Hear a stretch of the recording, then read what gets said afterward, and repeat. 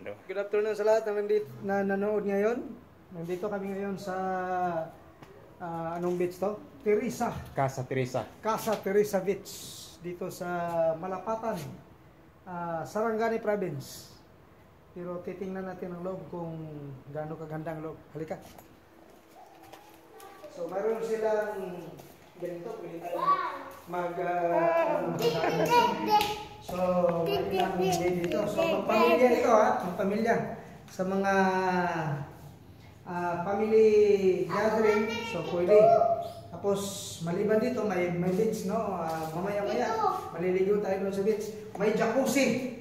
At saka, may pool, yung mahilig sa pool, mayroon din. So, ganito ka, ganito ka ganda, mamaya-maya, enjoy natin ito. Relax, relax tayo dito. And, let's go! Yan. Yan ay in-law ko, mga in-law. Ah, kapatid ng asawa ko. Ah, siya ngayon ang sila ngayon dito mag tatlong magkakapatid nandito ngayon kasama ko at saka yung isang nag ano nito nag kung sa pag ano nito ba dito. Yan, ang ganda ng ano dito. Buhay na buhay. Ay, oh, may surfing pa. Pwede- mo pa mag-surf. Ay, may water. Oh, may, ano, may coffee. Ah, Pwede.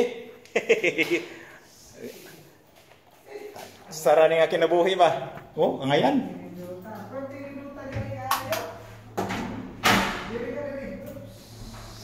Ah, ang ganda oh. Wow! Woo! Ang ganda na ano. Check this crab! Oh, CR. Ngayon kayo dito. Shower, tita! Tita! Shower. Tarisa Beach Club. Mga kapatid, dito tayo ngayon sa ano, jacuzzi ng Tari, Casa Teresa, yung jacuzzi nila.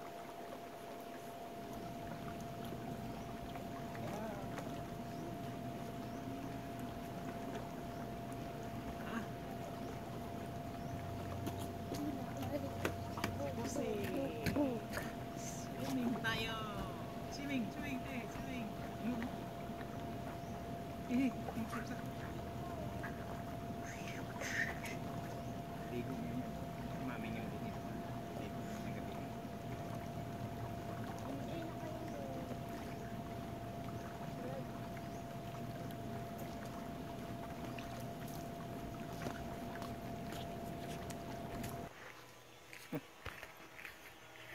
Ayan, mga kapatid, nandito tayo ngayon sa ano ng ta- ano dito sa ano ng jacuzzi nila.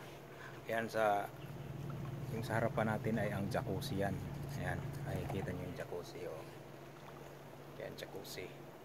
Dito ako dito lang tayo muna habang nag ano tayo dahil ang ano natin dito hanggang bukas pa, hanggang bukas ng alas 12. 24 hours ano natin dito so dito ngayon wala ditong tao dahil ah, ano ngayon weekdays kaya kulang sa tao. Ano dito weekend dito maraming s- linggo at saka sa, sa Saturday maraming mga ano dito. Ngayon kulang sa walang tao ngayon dito. Kami lang. Ano din ang facilities nila dito okay lang. Pero ang buhangin hindi naman kulay puti ang buhangin nila dito pero okay na rin. Ah, pang ano lang mas maganda nito kung kulay puti yung buhangin. Siguro sunod uh, anuhan nila ng kulay puti. Dahil yung mga iba doon mga bits na mayroon tulad nito malaki mayroon silang white sand. Ito hindi naman kulay puti ang ano dito di ang ano nila dito. Pero okay na rin yan maganda dito dahil kung mayroon kang program o magano ka ng mini concert o kahit na malakihang concert dahil dito held o maraming mana mga audience yan. Mga pinarya hanggang doon sa ang kusina nila. Yung kitchen nila dyan. Eh, maraming mga tao pa dyan. Yun o pag yung, ah, may concert dyan pwede. Pwede, pwede.